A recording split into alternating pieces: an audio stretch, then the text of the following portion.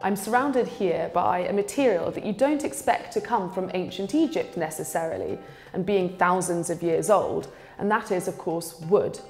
Egypt didn't have any forests.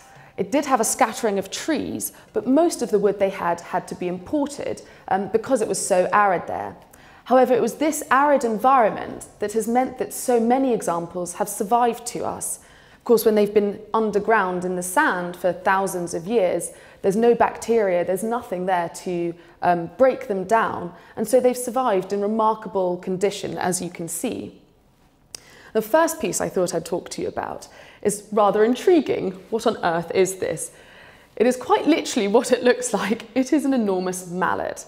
Now, this wasn't used for the refined work of objects you can see around me, but rather it was used to cut huge pieces of stone um, that would have been used perhaps then to turn into something more detailed and beautiful, but otherwise to build pyramids, architectural elements, temples, and the like. Now, the form of these changed very little over the years, so it's hard to date them precisely.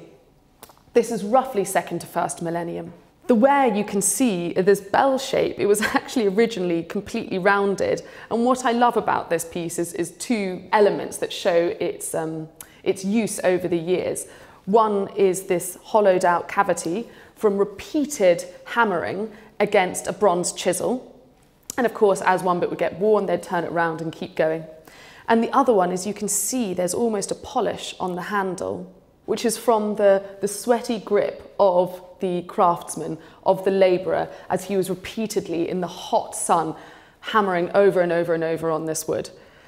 Now, Egypt itself has no forests, of course, which meant that they had to import most of their wood.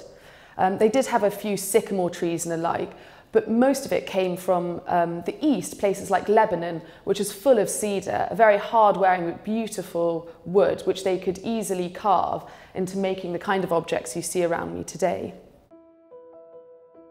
Now the largest piece we have here is carved from a single piece of wood, which again is rather remarkable for it to survive so well. This is a standing figure of a man from the Middle Kingdom, so roughly from 2000 BC.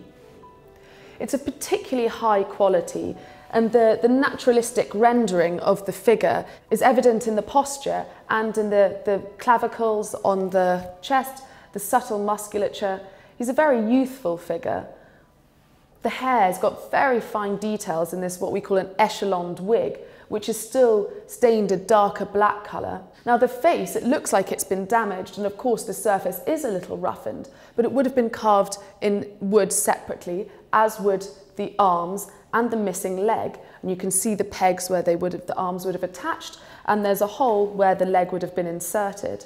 In its form like this, I find it much more alluring than the complete one focuses in on the quality of the details that are there, the delicate striations of the kilt, the movement as he walks, the inlaid nipples, one of which is now missing, and the very the softness around the belly button.